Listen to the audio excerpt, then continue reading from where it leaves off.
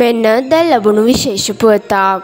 දකුණු ඉන්දියාවේ ආන්ධ්‍රා ප්‍රදේශ ප්‍රාන්තයේ මහ වැසිත් සමග ඇති වූ ජල ගැලීම හේතුවෙන් මියගිය සංඛ්‍යාව 44ක් දක්වා ඉහළ ගොස් තිබේ. තවත් 16 දෙනෙකු අතුරුදන්ව ඇති බව ප්‍රාන්ත බලධාරීන් සඳහන් කරයි.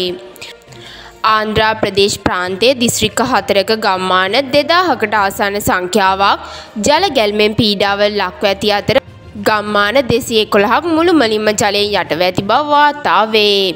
පසුගිය 16 වෙනිදා සිට ආන්ධ්‍රා ප්‍රදේශ ප්‍රාන්තයට අසාමාන්‍ය වර්ෂාපතනයක් ලැබුණු අතර තිරුපති පූජා භූමියේ ගම්මානයේ මාර්ග සියල්ලම පාහේ එහිදී ජලයෙන් යටවිනි. මෙවැනිම පුවත් ලද සැනින් දැනගැනීමට අපගේ YouTube නාලිකාව මේ දැන්ම සබස්ක්‍රයිබ් කරන්න.